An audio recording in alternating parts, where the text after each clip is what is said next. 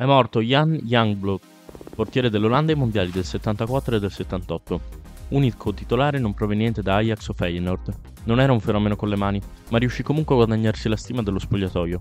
Era simpatico a tutti, e soprattutto a Jan Cruyff, che di fatto preferì portare lui in Germania, invece del più quotato Van Beveren, che non poteva invece sopportare. Ancora più importante che Youngblood, era un fenomeno con i piedi, abile nel velocizzare il gioco e anche nell'uscire a valanga sugli attaccanti avversari.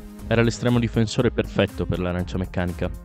Giocava senza guanti per avere una presa migliore e vestiva il numero 8, dato che la nazionale decise di assegnare, unica eccezione Cruyff, i numeri secondo l'ordine alfabetico. Non essendoci allora lo status di professionista nel calcio olandese, per lavoro faceva il tabaccaio ed aveva una grande passione per la pesca. Si portò tutti gli attrezzi necessari per la sua passione alla spedizione del 74.